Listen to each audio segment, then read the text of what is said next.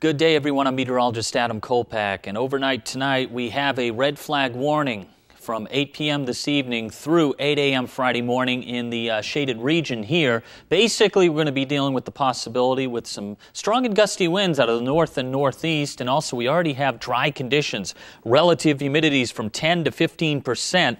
So you get a little wind, we have low relative humidities. There's a potential here for possible rapid fire growth with this type of environment.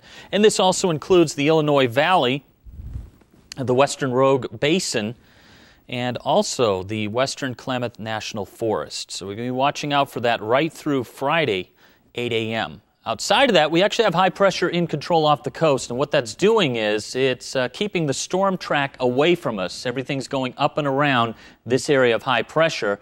We're also going to have warm conditions, and also the offshore flow is going to continue along the coast. That's a north and northeast winds, potentially giving us much warmer temperatures for the coast. Overnight lows will be in the 40s and 50s, may stay even a little bit warmer than that in Brookings. And you can see the high temperatures tomorrow.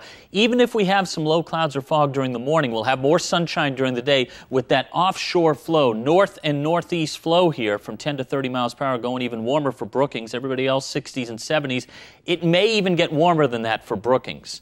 Our temperatures as we move inland will be in the 40s and 50s. Cave Junction at 50, 51 Medford, and 47 Yreka. North and northwest winds taming down, or at least calming down overnight. By uh, the time the sun sets, we should be dealing with light and variable winds. West Valleys for tomorrow will be in the 80s and 90s with plenty of sunshine overall. As we move east of the Cascades, your lows will be in the 30s and 40s. Lakeview at 45, 41 Klamath Falls, and 40 for Alturas. For tomorrow, still pretty warm in the 70s and 80s with plenty of sunshine. Crater Lake there at 64. Wind north northwest from 5 to 15. There could be some higher gusts during the afternoon and evening hours. Your seven day forecast, as you can see, we have plenty of sunshine overall for the Rogue Valley. Highs in the 80s and 90s, lows generally in the 50s. And for the Klamath Basin, Highs will be in the 80s. We may cool down a little bit by Wednesday and Thursday, or lows will be in the 40s. Uh, again, we have plenty of sunshine. Northern California, the same deal. 80s to around 90 by Sunday. Plenty of sunshine. Your lows in the 40s to around 50. And for the coast, as I said, with the offshore flow, that Chetco effect, we're going to have windy conditions Friday, possibly right through Monday.